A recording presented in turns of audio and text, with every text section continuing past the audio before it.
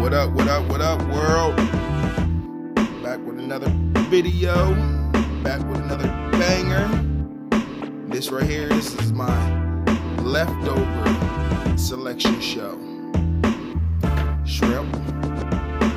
Do the shrimp in the microwave. I had some potatoes and onions left over. I made my own eggs straight from scratch. Threw the eggs on there, threw the milk on there, around, made my scrambles up real quick. Do the potatoes,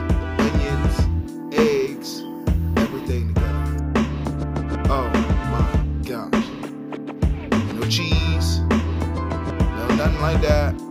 Some fire and Diablo sauce on there from Taco Bell. Your ingredients. Man, this is good. Oh yeah, forgot about the sausage. Do some sausage in there, some ground up sausage. Yeah. Dumb. Fire and Diablo sauce. Your choice. You know, you don't gotta throw no hot sauce on there. Oh, oh. Bonus video, bonus video. Leftover lemon pepper rotisserie chicken. I threw it in with some Roman noodles. Stupid. I could have in some uh, corn.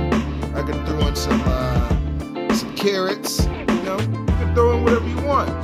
That was kind of my little. That was a little leftover I had in there. I had a I mean, I got a rotisserie chicken right now,